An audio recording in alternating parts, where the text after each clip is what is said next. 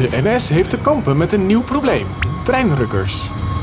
Uh, opeens weet je het, je komt klaar in de trein. Uh, zal ik uh, in plaats van blaadjes zaad op je spoor spuiten? Kedeng, kedeng, kedeng, kedeng. En dan op dat ritme trekken ze zich af als je ze betrapt. Weet ik heb al zo vaak te maken gehad met treinrukkers. En iedere keer als het weer overkomt, denk ik bij mezelf: hoezo? Waarom doe je dit? Nou, dan roepen mensen in de coupé: ja, grijp hem, doe iets. En denk: ja, wat dan? Moet ik hem vastpakken, tegen de muur aanzetten? Dat is precies wat zo'n treinrukker wil, hè? De hoeveelheid zaad die ik afgelopen maanden over mij heen heb gekregen. En vooral op dit traject, hè? En dit doe ik drie, vier keer in de week. Nou, ik kan je zeggen, de helft van de keer is het raak. Ik uh, werk bij de televisie. DWDD, redactie gedaan. The Voice, productie gedaan. Maar hier bij ons, bij de NPO, mag niks meer tegenwoordig, joh.